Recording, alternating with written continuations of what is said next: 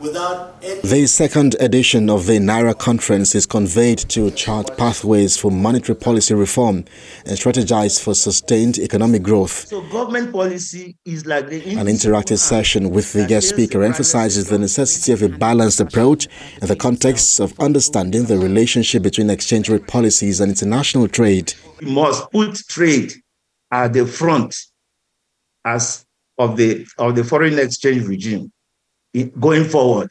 The conference features a technical panel and interactive sessions of prominent economists and other experts who delve into crucial macroeconomic subjects, setting the stage for deeper discussions on the role and consequences of foreign exchange policy on various stakeholders.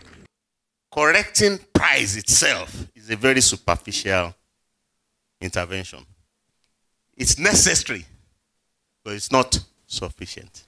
We don't have the right as, as fintech to trade in forex. And the bank commercial bank today they are the major dealer of, of this transaction. If they can liberalize it allow those of us who have contacts we have wallets where those transactions can be terminated into i think it will help more and also bring in the bureau de change into the scope of distribution to help ease this entire process that we are seeing. In one of several notable proposals, Mr. Ola Oyetayo, founder and CEO of Veto, advocates the licensing of fintechs and non-bank financial institutions as authorized dealers in the foreign exchange market. In terms of infrastructure, uh, if we can just have this uh, you know, regulatory policy where there's no concept of authorized dealers and the only authorized dealers are commercial banks, where you could actually have maybe a financial uh, uh, foreign exchange license, uh, and then you need to have certain criteria to be met before you can um, get that license.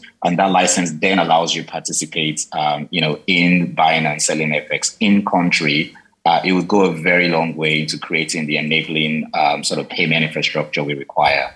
A resounding call for transparency echoes throughout the conference as participants underscore that transparency from the central bank and government will cultivate market confidence and stimulate investment. The 2023 Naira conference was co-organized by Arbiterz Media and Wole Famurewa with support from a wide range of stakeholders, including the Financial Markets Dealers Association, the Nigeria Export-Import Bank, and several corporate sponsors.